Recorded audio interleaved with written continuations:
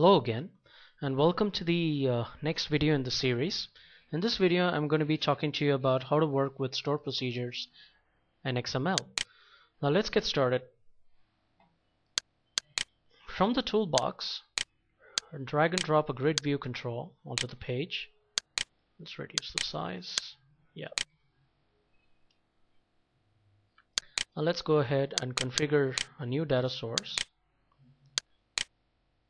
choose the same connection string click next.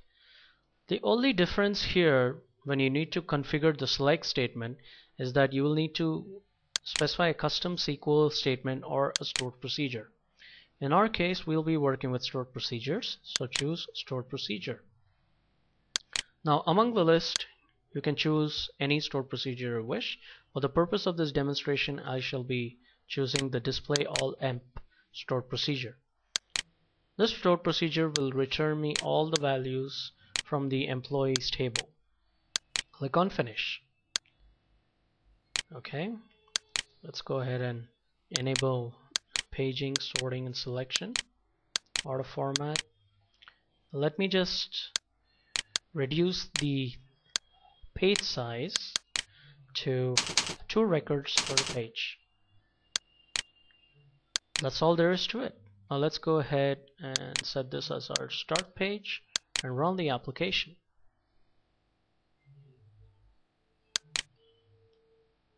Excellent. So now you have configured your grid view to display information from a stored procedure in DB2. So let's go ahead and work with the XML part now. For this, drag another grid view control onto the page. Let's configure a new data source for this. Click OK. Next. Now, I have already created a table called XML web demo. It has two fields. One is the ID and the other is uh, name choose advanced generate insert update and use optimistic concurrency. The ID field is the primary key here and the name field is an XML column. Okay we already have a value. So let's go ahead and insert more values. Let's go ahead and add a form view control that will help me to add values to the table. Just go and choose the SQL data source 2 let me drag and drop this here.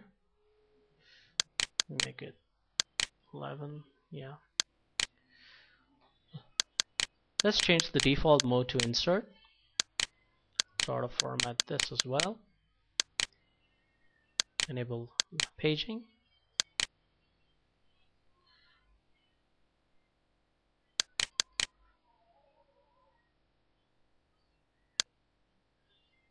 Now, there's one thing that you will need to realize here. Let us go ahead and run the application and I'll tell you uh, what exactly needs to be done now.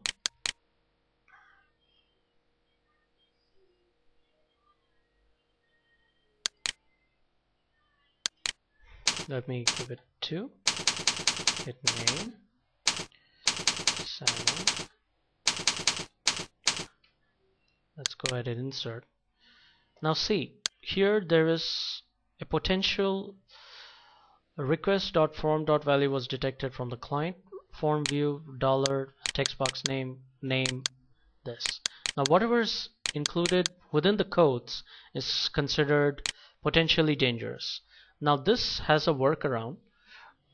So in order to do that close the browser navigate into your web.config file and under the system.web section enter the following tag. Validate pages validate request equal to false. Now what this does is it it enables you to insert XML data without any problem. So let's go ahead and rerun the application.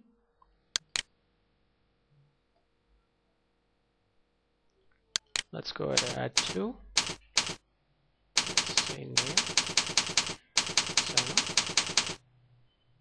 Hit insert. See? You're able to insert XML data now even into your ASP.NET websites using DB2 and this gets inserted into a DB2 table. So I hope you have found this interesting and please send me your feedback uh, regarding the uh, video series. If there's any improvements that needs to be done. In the next video I'm going to be uh, covering uh, DB2 web services and that is going to be the final in the project learn DB2 uh, learn now series. So uh, stay tuned for that. Thank you